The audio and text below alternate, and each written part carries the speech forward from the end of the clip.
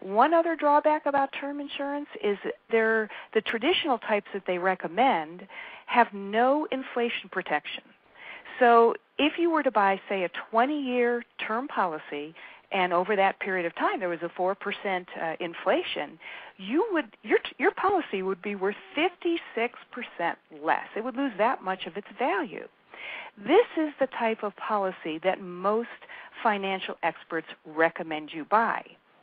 The other basic type, as you were referring to, is the type that they tell you to avoid, and that is called cash value insurance.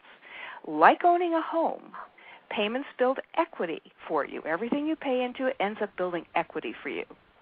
The Bank on Yourself plan uses a very specific type of cash value policy that is called whole life insurance, but it has some bells and whistles in it that put the growth of your money in the plan on legal steroids.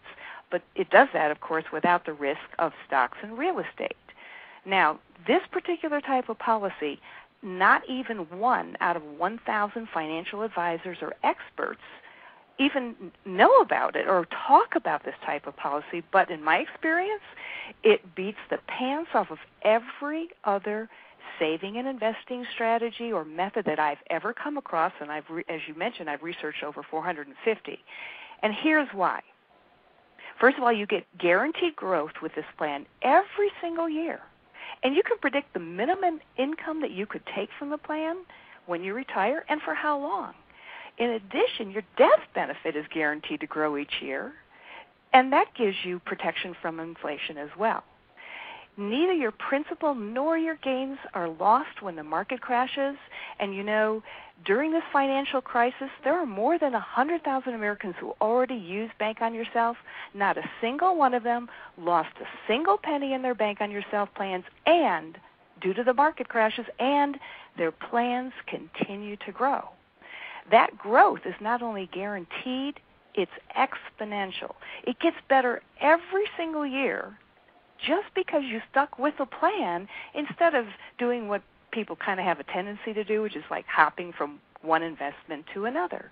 So instead of dreading, as many people do, opening their investment account statements and their retirement plan statements, you actually look forward to them because there's there's it's always good news and never any ugly surprises.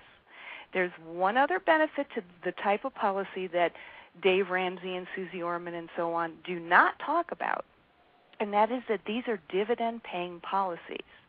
Now, dividends are not guaranteed. You do have a guaranteed minimum increase every single year, but the dividends are not guaranteed.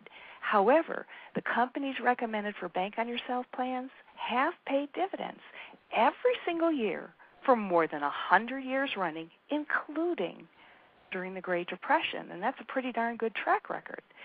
The companies that administer these plans are among the 10 financially strongest life insurance groups in the world. So, in a nutshell, those are some of the benefits of you of, of a bank on yourself type plan, which again ha- meets several specifications. It's dividend paying. It has all these little bells and whistles, and this rider. It's, there's a rider added on to it that makes your cash value in the plan, your equity in the plan, grow much faster than the type of plans that Dave Ramsey and others talk about.